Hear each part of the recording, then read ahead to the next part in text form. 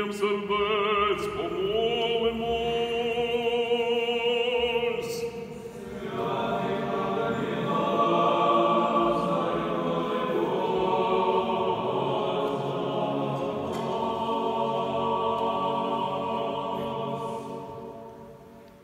Вельми предивний та близький друже Христів, святий праведний Лазарю,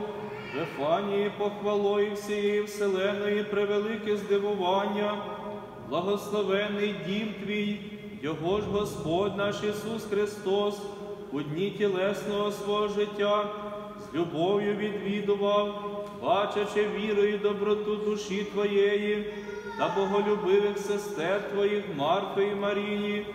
бо Ти полюбив його всім серцем Твоїм, всією душею Твоєю, всіма помислами Твоїми, і ним до кінця улюблений Ти був. Дивні таємниці Твої, на Тобі Божественним другом Твоїм явлені, дозволив Він раніше хресного страждання свого і Воскресіння показати на Тобі всьому світові славу свою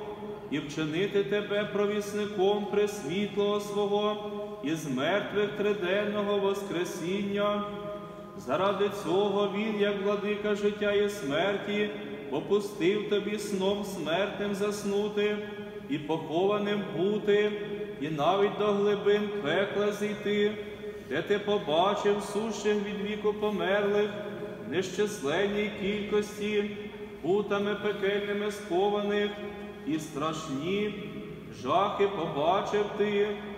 І там, коли тіло твоє вже смороду смертному піддалося, після чотирьох днів почути божественний голос друга Твого, що до гробу Твого прийшов, Лазарю вийде звідти, і за голосом цим ти відразу ж із гробу піднявся, і так Вифанію звеселив, сльози Марфи і Марії висушив, фарисеїв же і книжників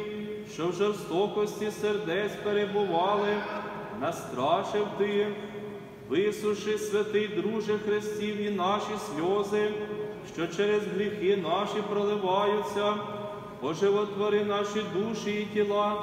що у смороді пристрастей і нечистот гріховних перебувають, відведи нас із гробу вічаю та лютої зневіри,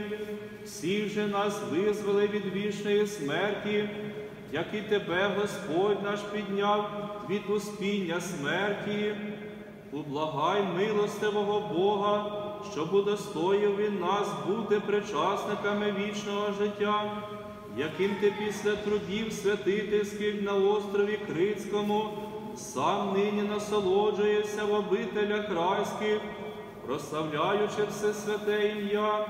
Отця і Сина, і Святого Духа нині і повсякчас, і на віки віків.